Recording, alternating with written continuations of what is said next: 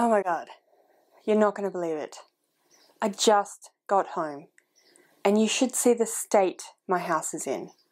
It's crazy. I mean, I kind of knew that asking Cardan to look after my house while I was away might not have been the best choice, but I honestly didn't think it would be like this. So I come through the door. It's okay, but it's a hallway, so not too likely there'd be much in the hallway. But there was a kind of weird smell in the air, sort of almost sandalwoody, but also very burnt. So anyway, I open the lounge room door and in I come and just where do I even start? So first of all, fairies. I mean, not just Cardan and two or three other fairies. I kind of expected that. But fairies everywhere. I mean, there were like five or six camped out on the floor. There were about four sharing the lounge chair.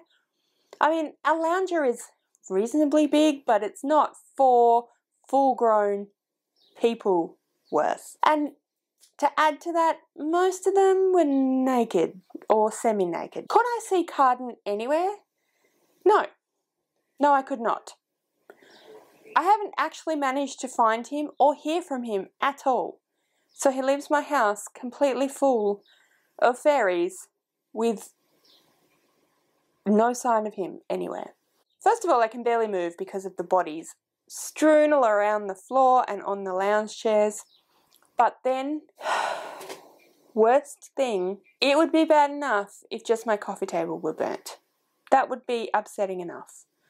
But the bookshelf behind the lounge, half of the lounge that they were lying on, the wall, and the entire coffee table was burnt. Luckily, I only store like eight or nine books in that little bookshelf, but still, books were burnt.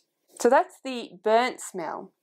Naturally, as you would imagine, I completely freak out because I have three cats and the entire reason to have someone looking after my house is to have them looked after. Couldn't see them anywhere in amongst all of the fairies, but then again, why would they be? Because there was also a fire, evidently. So I went on a pretty big cat hunt around the house. I find one cowering under the bed, and she looked genuinely completely terrified. Now, granted, Shade is often kind of scared, but she looked terrified. And it took me ages to coax her out from under the bed, which I didn't do the minute I found her because I had to go and figure out where the other two were. Pistachio was up on top of the wardrobe, which is a fairly common thing for Pistachio, but she looked terrified as well, and she started meowing the second she saw me, and didn't stop, but also didn't come down for ages, which is not like her either. Peanut was a lot harder to find, and I was really, really worried that they had managed to either kill or drive off Peanut.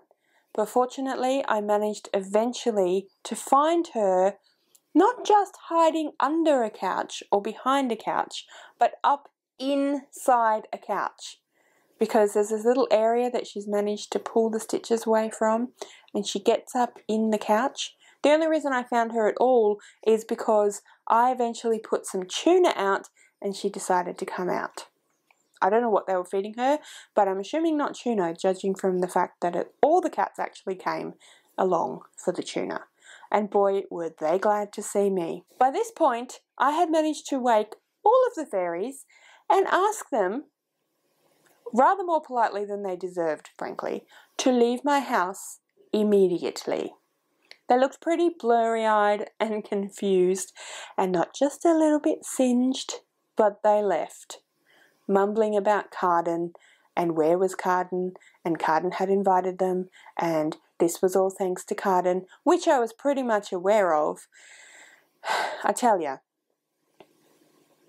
the next time I need someone to look after my house, if I can't find someone other than Cardan, then I think I'm going to leave the house without anyone looking after them. Better that these cats go a little bit hungry than what they had whatever else they had to endure while Cardan was looking after the place. I did manage to get some information out of one of the fairies. Apparently they had been here the entire time. Judging from the amount of bottles and crumbs and empty glasses and broken glassware and cutlery and general rubbish strewn around the lounge room, the dining room, the kitchen, and even one of the bedrooms. I'm going to say this party went on for a while. You were supposed to look after my cats. That was the entire point, not set the place on fire. So, whenever I find Cardan, he will be very much informed of how not very happy I am. Thanks, buddy. Luckily for you, my cats are fine. Luckily for you, books are replaceable, even though I love them. Thanks, dude. Really.